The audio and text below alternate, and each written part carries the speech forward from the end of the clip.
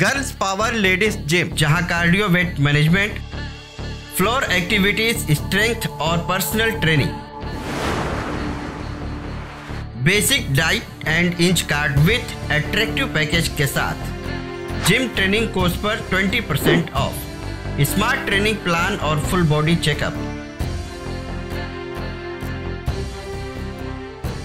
साथ ही beauty parlour service और क्लास पर 30% percent off. Fitness and beauty lovers की पहचान है for the best result join girls power be fit be fabulous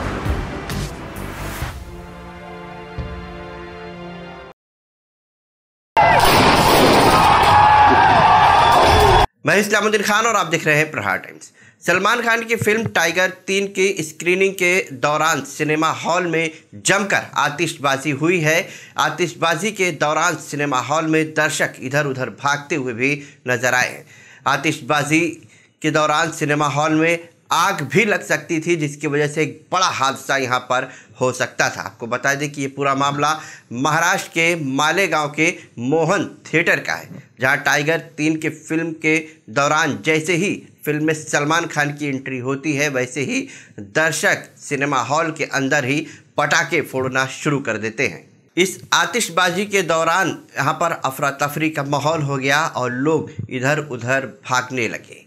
police cinema hall में पटाखे फोड़ने के मामले को लेकर अब जाँच कर रही है और मोहन सिनेमा हॉल को भी नोटिस दी गई है। पुलिस ने कहा है कि दर्शक जो फ़िल्म देखने आते हैं, उनकी तलाशी ली जाए और सुरक्षा के उपाय भी किए जाए मालेगांव शहर में मोहन थिएटर में कल के दिन टाइगर थ्री फ़िल्म के शो के दौरान कुछ प्रेक्षक ने पटाखे जलाए। उसके चलते उनके खिलाफ पुलिस स्टेशन छावनी में गुना दाखिल किया जा रहा है।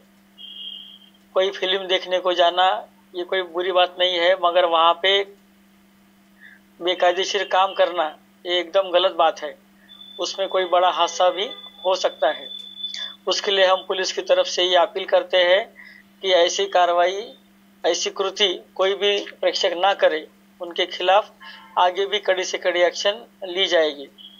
और तो और जो मोहन थिएटर है, उनको भी पुलिस स्टेशन की तरफ़ से नोटिस देकर जो भी एहतियातन चीज़ें करना ज़रूरी है, वो भी हम करने के लिए उनको सुझाव कर रहे हैं। उनसे भी अगर कुछ गलतियाँ हो रही है तो उनके खिलाफ भी कड़ी से कड़ी कार्रवाई की जाएगी।